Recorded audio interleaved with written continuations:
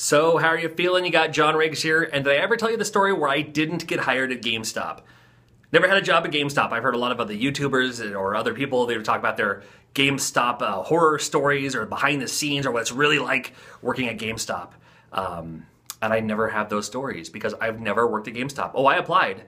I did. I was at uh, I was out of work for a couple of months. I didn't really care for the way the radio station was going that I was on at the time. The radio station was changing directions, but I was still a part of it but I wasn't happy with it, and I had zero control or creative say or anything like that. So um, I just kind of, just like when Steve Austin left WWE, he didn't like where I was going. He just kind of got up and left. So I just, I, I literally got up and left. And um, I was out of work for a few months before I found another job in radio.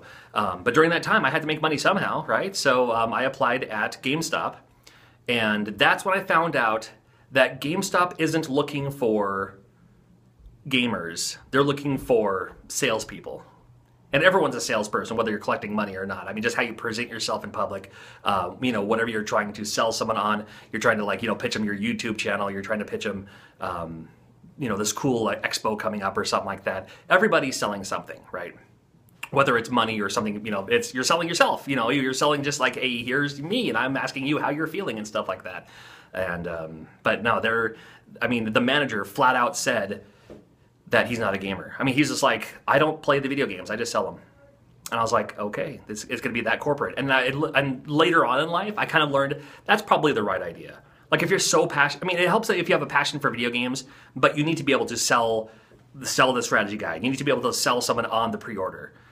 You know, that's part of the criteria of how they make money. If they don't make money, then you're out of a job right? That's you know, the more money they make, then you know, hopefully that's what it's like anyway. Again, I've never worked there, so I don't know the behind the scenes marketing value of it all, but it makes sense to me. Um, but it kind of caught me off surprise, where it's like, oh, here's the manager of GameStop, the manager of GameStop, and he's like, I don't play video games, I just sell them. And the assistant manager was kind of the same way, although he did he did do a little bit of PC gaming, but not console gaming. I was like, ah, oh, come on. I was like, I can be your console guru. I know all about all these games, you know. And this is like the mid '90s, um, you know, when he told me this at first, and it kind of stuck, stuck with me there.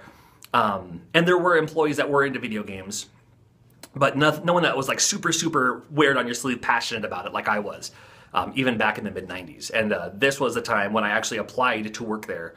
Um, when I actually applied to have a job there, it was like 2002. Yeah, it was, it was 2002 2003, sorry.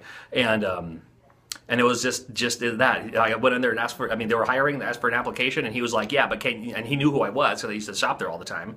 He's like, "Yeah, but can you sell a strategy guide? Can you sell a pre-order?" I was like, "Well, yeah, I sell all the time. It's what I, it's what we do." And uh, and that now hiring sign was on that door for those three months, and I never got a call back. I went in and inquired. I'd pick up a game. It's like, "Hey, you're still hiring? I'm still interested." Never happened. So GameStop, you lost out on all this.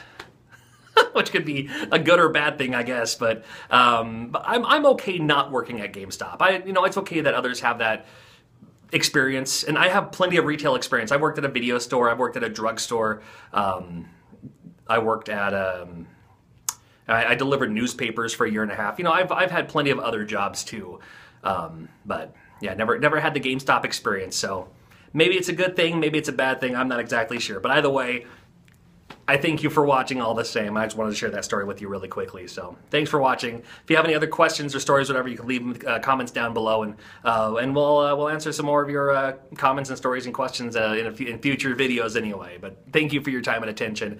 Um, I appreciate it so much. Thank you.